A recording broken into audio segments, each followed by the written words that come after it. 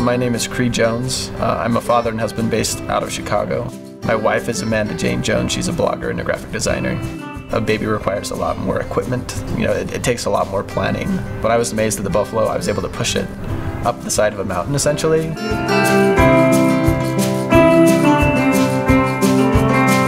I'm Taylor Shupe. I'm co-founder of Stance Socks. Mobility and having products that are able to elevate the whole travel experience are very important for us.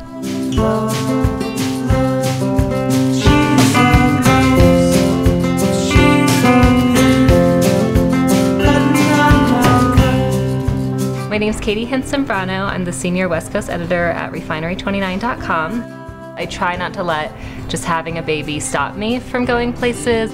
One of the things about the Bugaboo Buffalo that I really love is that the wheels just kind of take us everywhere and it doesn't really, you know, matter what's under them.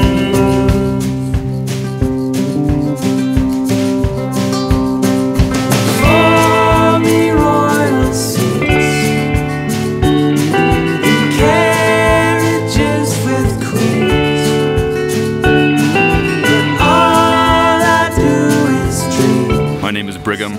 I am a husband to Caitlin Wilson, and I am a global merchandiser for Nike. We like to be active, we like to go out.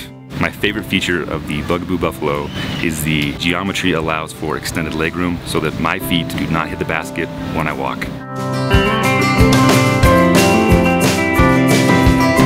I'm Aubrey McCoy, father of four.